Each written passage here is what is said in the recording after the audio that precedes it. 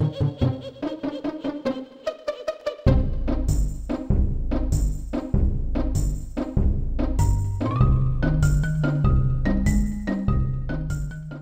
everybody, welcome back to Let's Play uh, Banjo Tooie, uh, Banjo Tooie, Banjo Kazooie Grunty's Revenge. Last time we left off, we were in Mumbo's Hunt, H Hunt, Hut. Why did I say Hunt? Um, speaking which, it reminds me of Hunt's tomato sauce. Anyway, uh, I don't know. Uh, Mumbo's gonna turn into a rat, and like I said, you can turn into any transformation at any level, and the rat is probably the most, or rat mouse probably the most. Well, it is rat, or whatever. Rat mouse, similar uh, they're probably the most, uh, is probably the most used transformation. Uh, I talked to this Breegull, uh, I will apologize because a lot, uh, throughout this world, and I think the next world as well, I forget to talk to some people before doing the missions. But to be honest, it's really not going to make a difference. All you do is miss a little bit of dialogue. Um, so I apologize. So yes, somehow, uh, be turned into a rat allows you to have teeth that can chew through steel. Because, you know, that makes sense. Uh, maybe it's Super Mouse, Super Rat. He's uh, the the rat of steel, the mouse of steel. I don't know. Um, but this, uh, it, it, you know, again, it, it's a good game.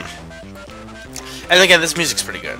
Next level's music isn't that great, but the music after that probably the best in the game, and I'll, I'll of course talk to that, talk about it quite a bit. But no, this is a good song.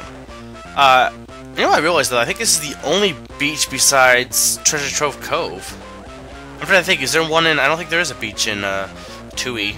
Well, I guess uh, Jolly Roger's Bay, but it's not really a beach. Because there's really no beach to it. It's just kind of like a water level. But yeah, there's, there's no beach.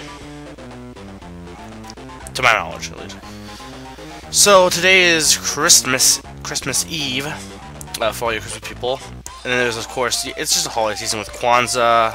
Um, Hanukkah was a few weeks, I think a week ago two weeks ago, I don't know. Uh, so Merry Christmas Eve.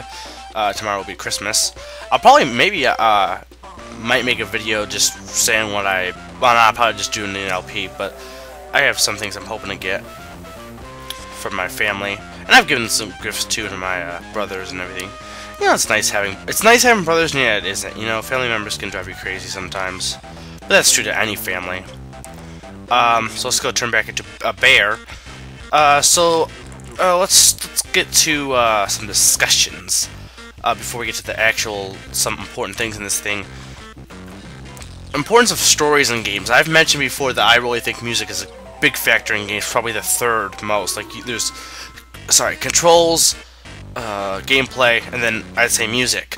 But story is very important as well, but you don't need a very compelling story, to be honest. Like, TTYD had a very compelling story uh, Super Mario had a very compelling story, in my opinion.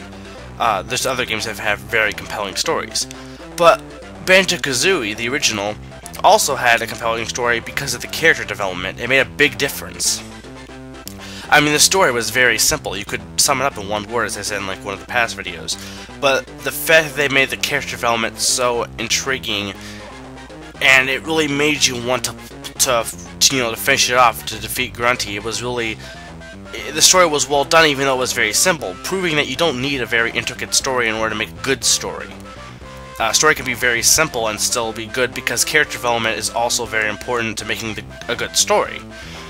Which is one reason why I like TTYD better than Paper Mario. I know some, uh, this is kind of topic, but I know some people like uh, Paper Mario the best, but the thing was, Paper Mario's story, A, was very generic, basic Mario. And yeah, you could say the nostalgia purposes, but it was a very basic, bland story. And not only that, but the characters were also very bland. You could have easily made the story much better if the characters had much more development, whereas TTYD had the story and good character development, at least compared to TTYD. Uh, and so, I guess the point is, a good story is really important to a game. Um, not so much, I don't think you need a story, but in some instances, like, I don't think Mario needs a story, but if Mario games had stories, would they be uh, better? Yeah. They could have a simple story like uh, Peach was taken by Bowser, but they can make it more interesting. Of course, Mario games don't really have that much dialogue, so you have issue with that. Anyway, we are fighting Grunty in her mecha suit. Um, she's actually very easy. Heard me without a bill, so I hope you've written out your will. Uh, I have. I'm, I'm giving away uh, my laptop to. Uh, I'm not sure where I was going with this. Anyway, point is, this is a very easy boss. Just wait until she charges at you with her shield, uh, and then dodge. Just keep dodging. Eventually, she'll change her strategy after you hit her three times. She takes six, six hits. Uh, this is essentially like a boss battle type. Like with Klungo, whenever you beat Klungo, you get a, a Mumbo token. Uh, there's five worlds, not counting Grunty's Tower. So first world, third world, and actually, wait, no, you get you get a you get a Mumbo token from uh, one of Grunty's battles, but you they they alter. You fight Klungo in the first world, and you fight Grunty. So we'll fight Klungo next time. Oh, but yeah and down to one more hit. Now she's doing her whole jumping thing. The easiest way to do this is just to go back and forth between her like this, and then hit her. My defeat was a surprise. I think the sun was in my eyes. You're a robot. I better get this suit upgraded. The bear alone I underrated. Robots, the sun shouldn't be in your eyes. You're a robot. You should have perfect eyes that should be able to see everything and anything. You should be super eye, robot, grunty. Gr the grunty robot should have super eyes. Anyway, Kazooie is now uh, free, which is stupid. It's like, I got defeated, now I'm going to leave Kazooie and give her back to you. Kazooie, I am glad to see you. I thought Grunty would have made you into a monster by now. No, that would have actually been a good idea. I'm okay, Banjo, but we've got to put an end to the old rusty knickers plan. Grunty's doing everything in her power to change the past and make sure that we never meet in the future. What is she doing? We haven't seen any of this. My wings are really stiff. It looks like you could use some extra jumping height. Ooh, you know what that means? Mm, flap flip, yeah. So now we're using the L and R buttons. Well, we're using them already for the diving, but we're using those much more with Kazooie. Uh, some of the controls can be a, bit, a little bit complicated, but not too bad. Um, I did mention that how Kazooie wasn't as angry as she was uh, in past games. That's not really true. Rare, st Rare, Rare, still has the whole thing, even when they were in Microsoft, they had the whole thing of being, uh, still keeping characters kind of sn snarky. It's really only Cranky from DK because that wasn't made by Rare, it was made by company, several Nintendo and then uh, Paon. But Paon does a pretty good job. Uh, I'm gonna go get that later. First, I'm gonna go get some more moves for Kazooie. I technically could get that now, I believe. Um, but now we have the flap flip, which will help us reach new heights. And, uh, but yeah, Kazooie's still snarky, but it just seems like she just isn't the same as she was in the other games. So your scrawny psychic is ready to help, is she? Hold L and press B to get yourself into egg firing mode. Firing some eggs.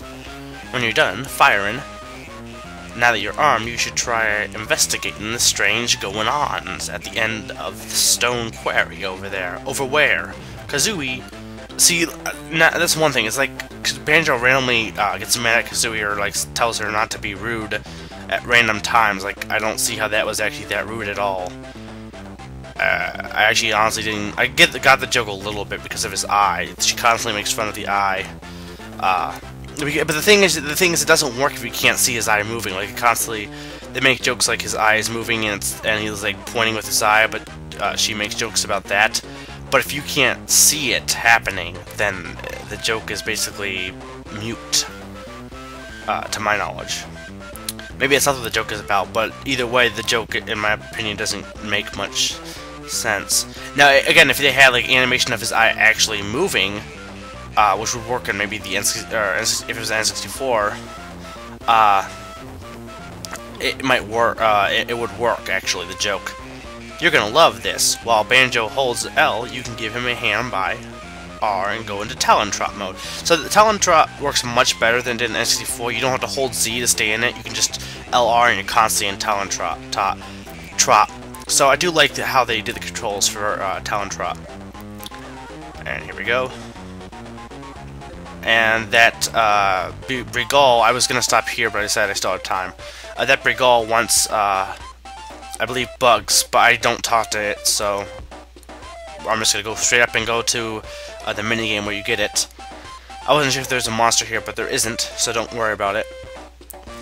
But yeah, it also seems like Banjo constantly is like mad, or not mad, but like, uh, I guess patronizing. Maybe it's like Kazooie, don't do that, Kazooie, Kazooie, over like a lot of stuff compared to in uh, the original where he was much less doing that, and it worked much better in my opinion. Oh look, another slide. This slide gets the slides get much more difficult as you go on, but this one's still pretty easy. Uh, the next one is actually a little bit harder, which you'll see in uh, I think a few levels actually. I didn't get hit by these things. Don't worry about getting hit by them, but just uh, be careful because you'll uh, lose your direction a little bit, or your sense of direction. But here we go. That's all of them. And there we are. Here's that Jiggy. Uh, this has been Mega 400 reminding you to have a Merry Christmas.